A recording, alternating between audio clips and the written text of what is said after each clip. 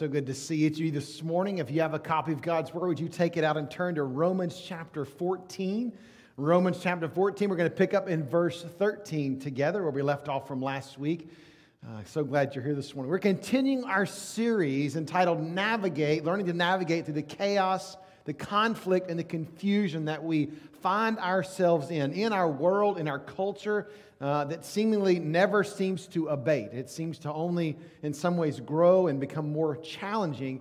But the reality is, the truth is, no matter what year we're going to live in, there's always going to be chaos. There's always going to be conflict and confusion in our lives until the day Christ returns. In fact, the Bible says it will only grow.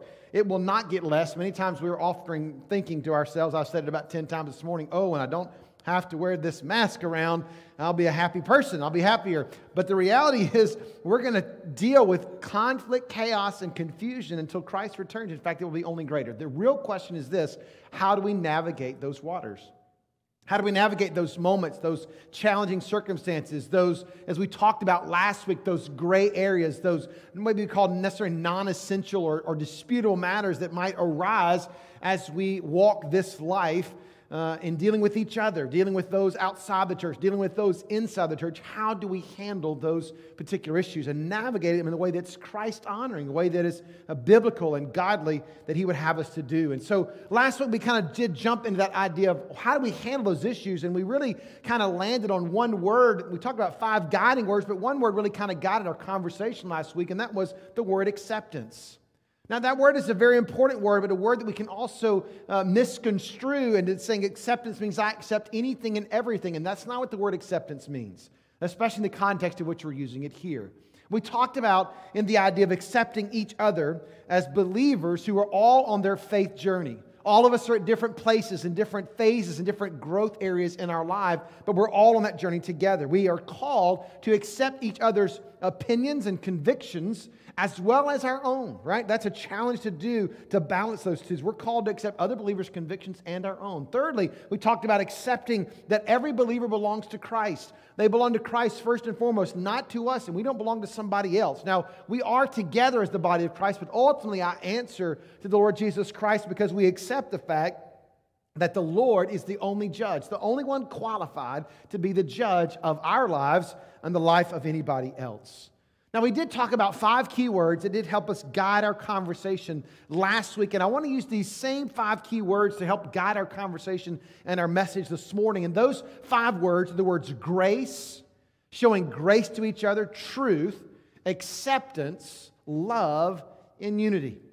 Now, listen, love and truth would be kind of those two key ones today because the overarching theme, if we're going to navigate this world, is we must demonstrate, we must show love to each other. We have to accept each other where we are and love each other enough to not, as we'll talk about this morning, not be willing to surrender our rights. You see, as children of God, we are free in Christ. We have a lot of freedom. If you know Christ as Savior and Lord, you have been granted great freedom freedom from sin, freedom from bondage, freedom from addiction, freedom from all kinds of things. We are free in Jesus Christ. But the challenge is how do we handle that freedom when it comes to our brothers and sisters in Christ?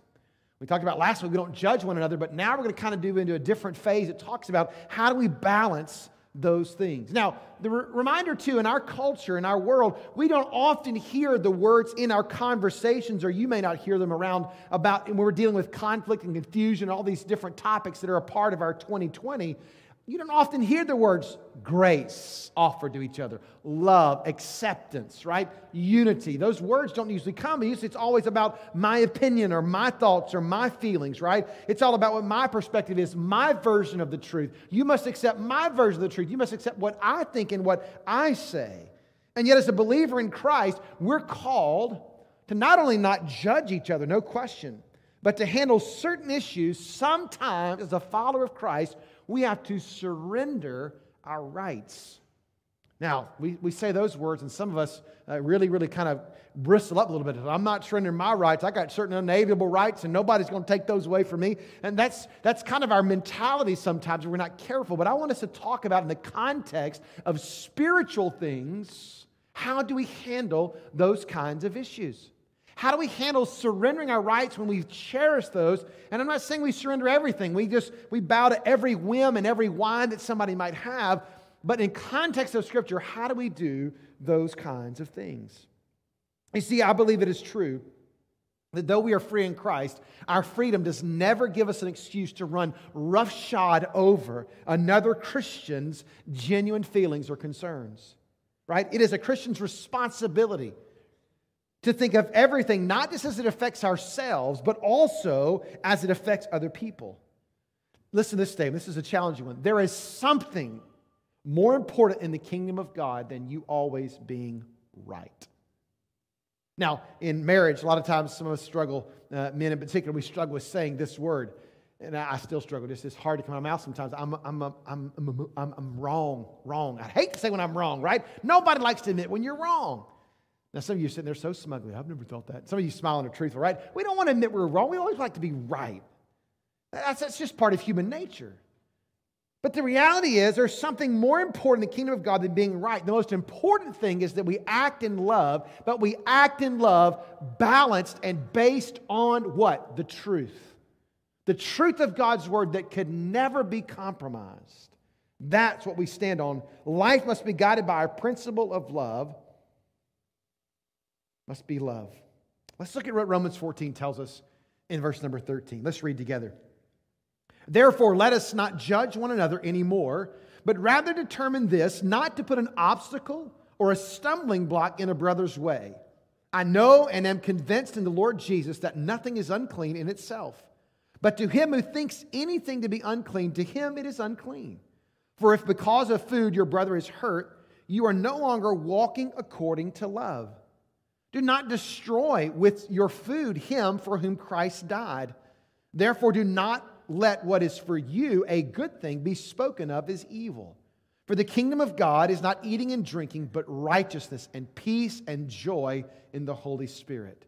For he who in this way serves Christ is acceptable to God and approved by men. So then, let us pursue the things which make for peace and the building up of one another. Do not tear down the work of God for the sake of food. All things indeed are clean, but they are evil for the man who eats and gives offense. It is good not to eat meat or to drink wine or do anything by which your brother stumbles. The faith which you have, have as your own conviction before God. Happy is he who does not condemn himself in what he approves, but he who doubts is condemned if he eats, because he is eating not from faith, and whatever is not from faith is sin.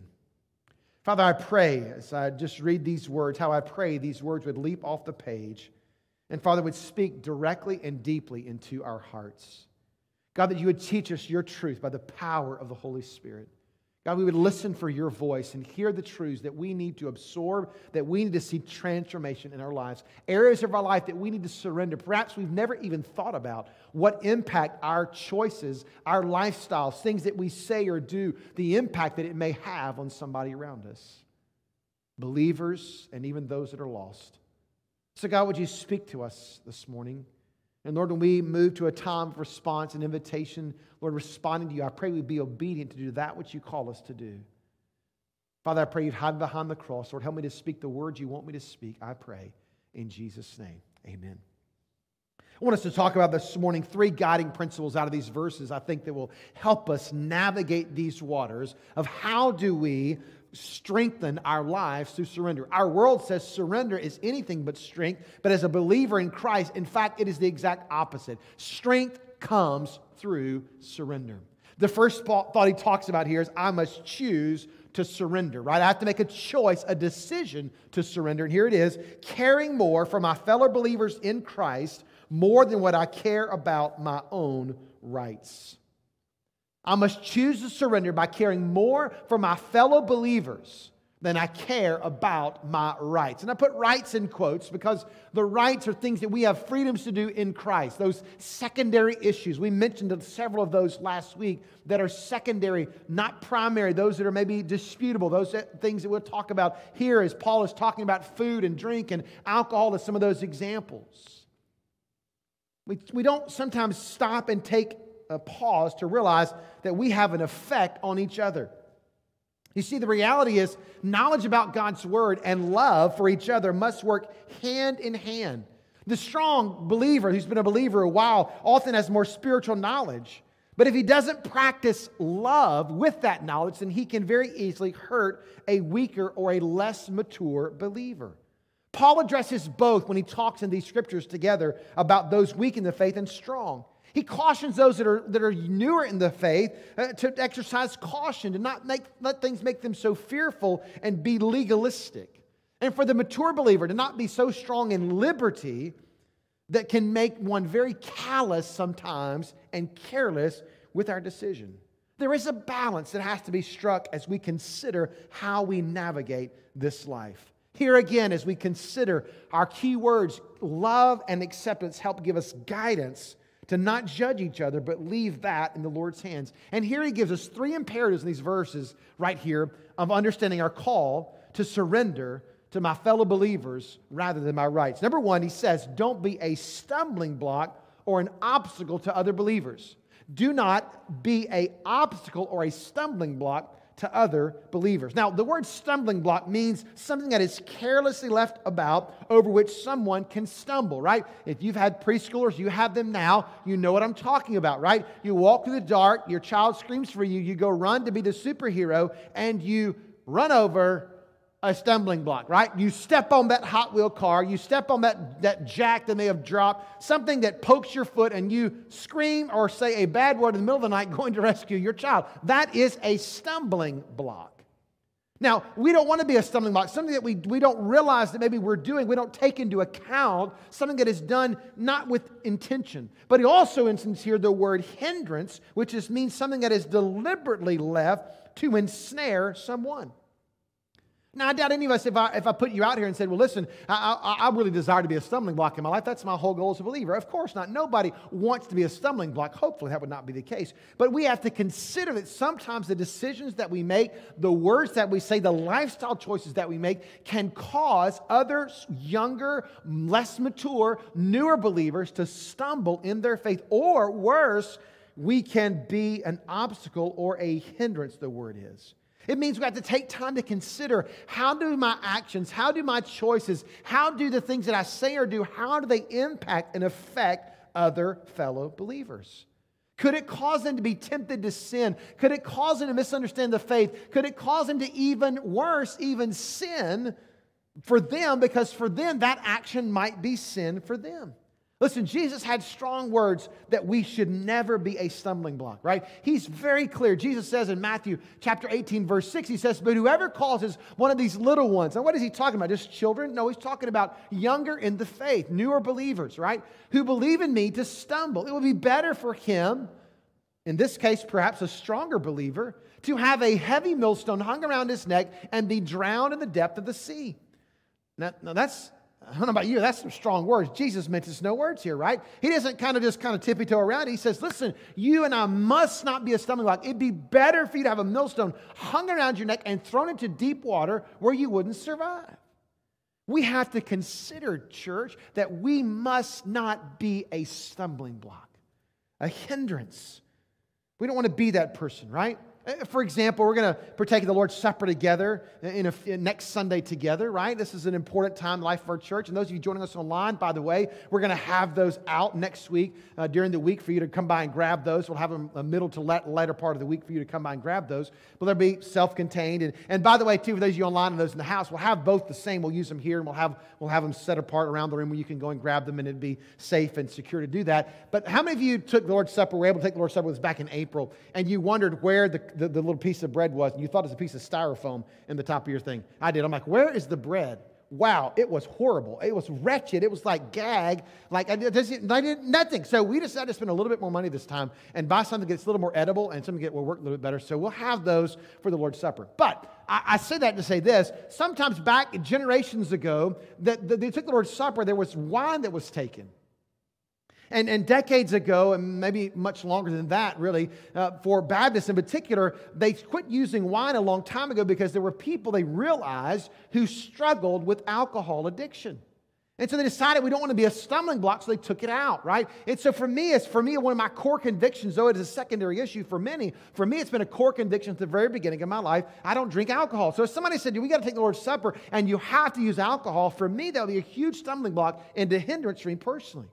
Right? It's just a huge conviction for me, right? In the same breath, my dad, I'll never forget the day that I came home one time in, in the sixth grade Sunday school class, and I remember the guy's name, Mr. Warris Johnson. He taught our sixth grade Sunday school class, and we got on the topic of alcohol. And I came home, and my parents, over the summer, there would be a bottle of wine in the refrigerator and a six pack of beer that would take all summer long, all year long, would be there the entire year. They would never even usually drink all of it. And so I came home and proudly announced to my dad and told him that the liquor had to leave the house. My dad looked at me and said, When I need your opinion about that, I'll let you know. Move along. and he helped me move along. This literally, you know, don't butt out. Now, here, my, my parents don't remember this. They, they say they never remember this, but I, have mentioned it to them multiple times. I'll never forget that moment.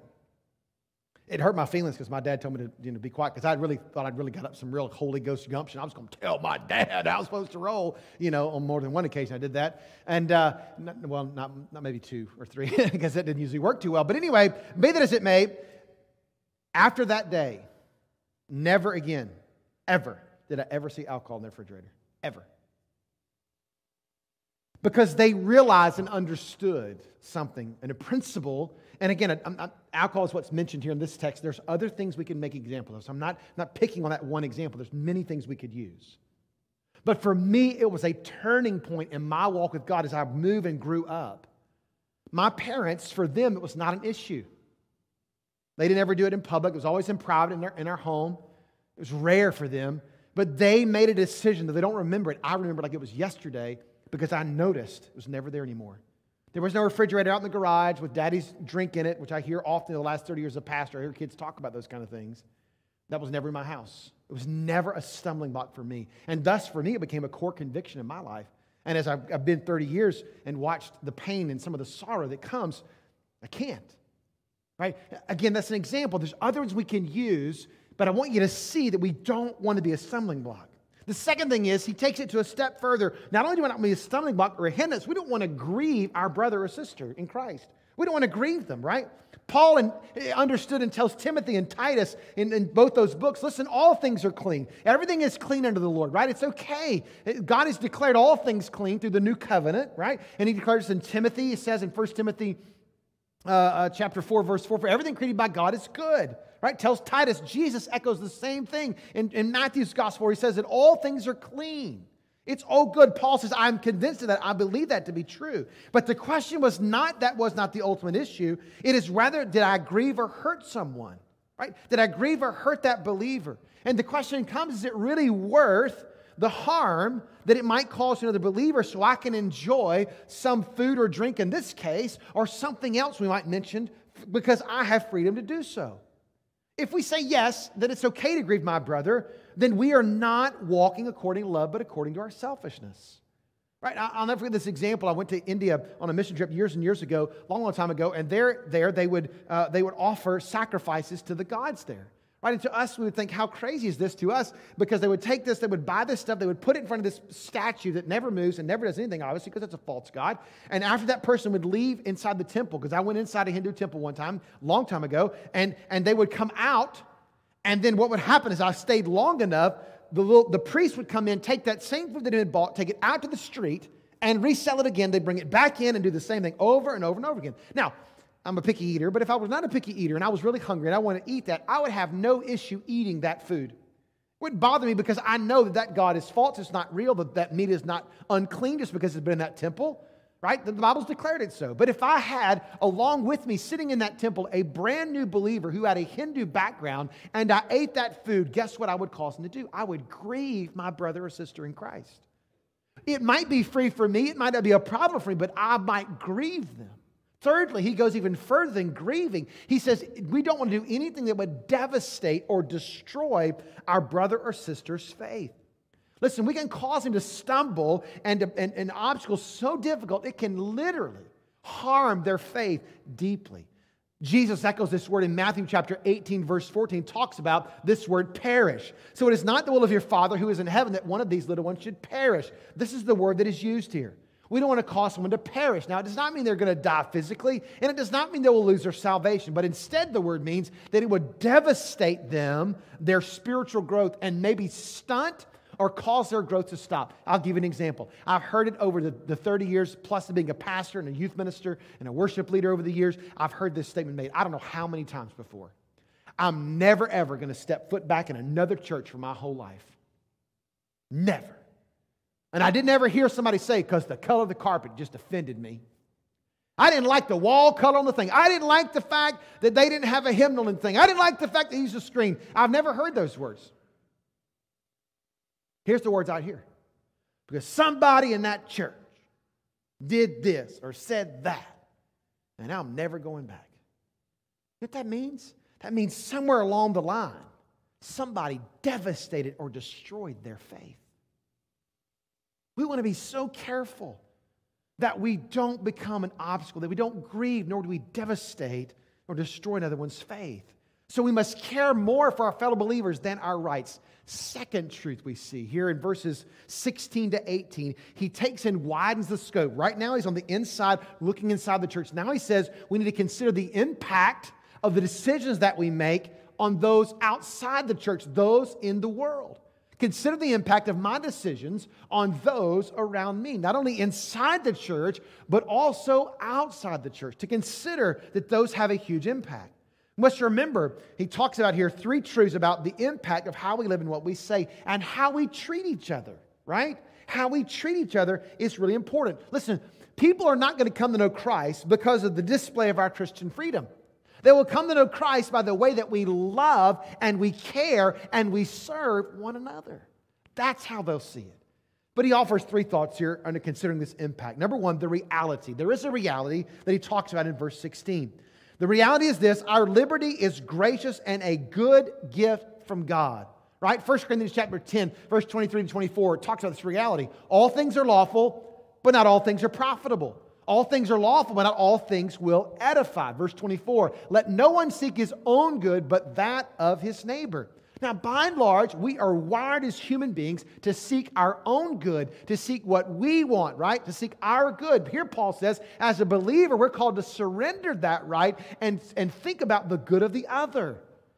Now, that's challenging to do, right? That's a growing process. That's a transformative process that only the Holy Spirit of God can work inside of our hearts and our lives. The reality is, if we're not careful, something that is good or acceptable can be taken as evil. So we have to consider every decision that we make, everything that we say. How, now, does it mean we walk around in eggshells all the time and tippy toes, worried about, oh, am I going to offend this person? It means we're walking prayerfully according to God's word and watching and listening and looking and seeing what impact the decisions that I make have on those around me. There is a reality that is the case. Secondly, there is a reason for this. Here, Paul says, the reality is it's all about the kingdom of God. Our ultimate concern, our ultimate calling as believers is we're concerned about the kingdom of God. Listen, minor or secondary matters can cause division, chaos, conflict, and confusion. But what Paul's saying is here is our stomachs, if you will, are not the issue or the problem, it's our hearts. Is our, heart, our hearts being transformed? At the end of the day, you're not going to answer, nor will I to Jesus Christ about what put I put in my stomach so much as about the attitude of my heart. Jesus went to great lengths when he was here on this earth to try to convince the Jews it was not about the human kingdom he was concerned about, it was about the kingdom of God. The human kingdom was concerned about the outside, how one dresses, right? What one eats, how one acts. What God is ultimately concerned with is the heart. It is not the externals God is most concerned with, it is the eternals that God is most concerned with. And when we consider the eternals, guess what happens? It then impacts the external. It influences, helps us make those decisions that are right and about the kingdom of God. Listen, is one, one statement said this the kingdom of God isn't operative in your life if your rights are so important to you that you are willing to separate from a brother who does not agree with you. The kingdom of God is more valuable than that. And we should consider our brother and sister in Christ and even those outside the body of Christ. We don't do anything that would keep them from coming to know Christ as Savior and as Lord, no matter what that may or may not be. And then he talks about the demonstration of it. I don't have time to dive deep into this, but there are three things he says that are demonstrations of that kingdom of God. He says there's righteousness, joy, and peace. Righteousness being a right living with God. I'm in a right relationship with my fellow man and with God. I'm at peace with God and at peace with other people, even in the midst of chaos. Folks, as believers, the operative word of the kingdom of God is I'm still at peace. Peace is not the absence of trouble. Peace is in the midst of trouble. It is in the midst of a 2020. When our world is panicking, when our world is wringing its hands, when our world doesn't know what to do, we as believers ought to be able to hold out that we are at peace with God. They need to see it. Not only do we see the, the righteousness, the right living, the peace, thirdly, they see the joy. Can I be honest with you? There's times when I put this thing on right? And I try to be good and try to do what I'm supposed to do and wear this thing that I put this thing on. Now, I like it on a day like today because um, I look like I'm 14. My face broke out and it's really good. So I like it on a day like today. I hide it and you can't see it, right? When I wear this thing, my glasses fog up, I sweat in my face, and I don't know if my face always shows joy with my eyes. It's more like this. Of course, you can't see them because they're wearing my glasses, right? See, you see what I'm talking about here? Right?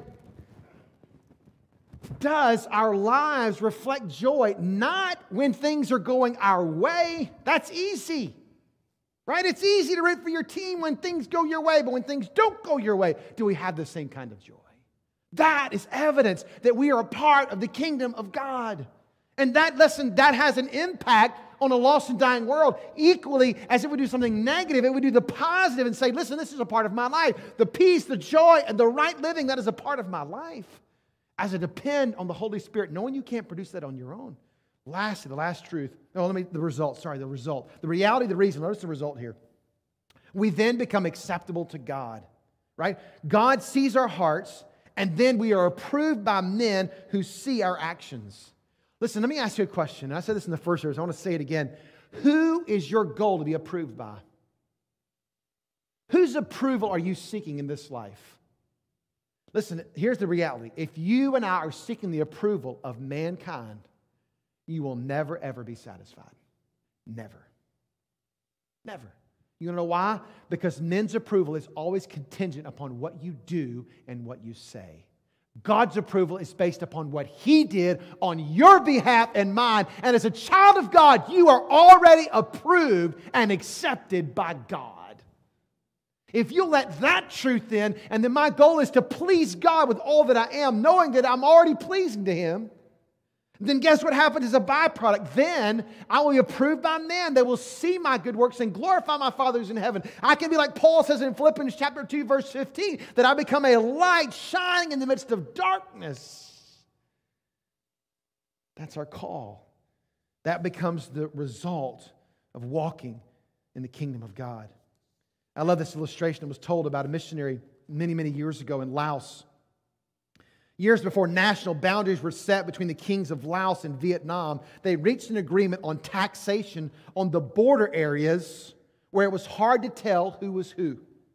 But values saved the day. For example, the Laotians are ate short grained rice, built their houses on stilts, and decorated them with Indian style serpents. The Vietnamese, on the other hand, decorated them with uh, ate long grained rice, built their houses on the ground, and decorated them with Chinese style dragons. As for taxation, the location of a person's house was not what determined their nationality. Instead, each person was taxed by the country or kingdom, if you will, whose values they exhibited in their way of life. Here's my question What kingdom are you and I a part of? It's determined by how we live our lives, what we build our lives on, right? Who we worship, and how that's evidenced in our daily Notice the last truth this morning. Here it is. I must choose to surrender by caring for my other fellow believers more than I do about my rights. Secondly, by considering the impact of my decision on those around me. And thirdly, I surrender by chasing after peace and building up others in Christ. I choose to surrender by chasing after peace and building up others. In these five verses here, Paul gives us five words in closing, and here they are. Number one, notice this. How do we chase peace? Number one, be committed. to chasing after peace and encouragement. Being at peace with people the best that you can. Now, sometimes you can't always be at peace with men, but what does Paul say in Romans chapter 12? We looked at it a few weeks ago. If possible, so far as it depends on you, be at peace with all men.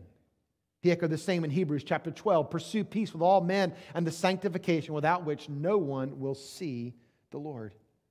We're called to pursue peace. Listen, you can't make somebody be at peace with you. In this day of chaos, conflict, and confusion, you're having conversations. It is not always going to work out where everybody goes, Oh, yes, we're at peace together. They may vehemently disagree with you, but you do your part to love them and to be at peace with them the best that you possibly can. Not only do we pursue peace, that's important, but secondly, we pursue encouragement. Listen, I, I, I, could, I promise you, if I took a survey today and I just asked, just right now, and just said, how many of you need a little more discouragement in your life? Just, just a tad more. Don't feel like 2020 has offered enough. Can I get a little more discouragement in my life? Please raise your hand and we'll offer a booth after church. You can come by we'll just discourage you if you'd like to. Nobody's going to do that. Everybody's going to skip by that like they do the skip by the sign-ups when we sign up for things to go to church somewhere, right? it doesn't happen, right? If I said, come by today and we're going to give you words of encouragement. Almost everyone knows would want to stop by and hear somebody say, Listen, I've seen the difference Christ has made in your life. I've seen the impact that you've made. You know why? Because we need encouragement. Our world needs encouragement. What does Ephesians say? Paul says in the church to the letter, uh, those in Ephesus, let no unwholesome word proceed from your mouth, but only such a word as is good for edification, for encouragement, for the building up according to the need of the moment. Why? So that it will give grace to those who hear. Folks, we've got to be committed to pursue peace and encouragement. Secondly, verse 20 says we've got to be controlled.